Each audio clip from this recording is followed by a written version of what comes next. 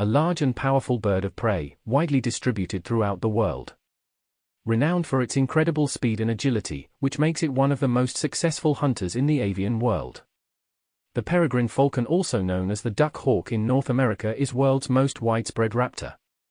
The peregrine is renowned for its speed, reaching over 200 miles or 320 kilometers per hour during its characteristic high-speed dive, with highest measured speed of 242 miles or 389 kilometers per hour. It is the fastest member of the animal kingdom.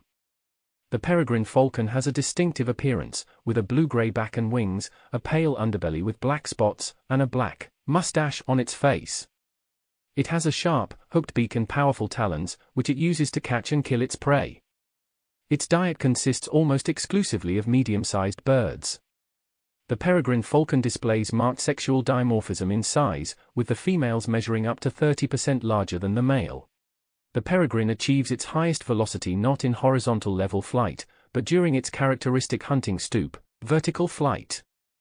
While stooping, the peregrine falcon soars to a great height, then dives steeply at speeds of over 320 km per hour or 200 miles per hour. Assuming the maximum size at 58 centimeters, its relative speed clocks at 186 body lengths per second during its hunting swoop, the equivalent of a human running at 170 meter per second or 560 feet per second.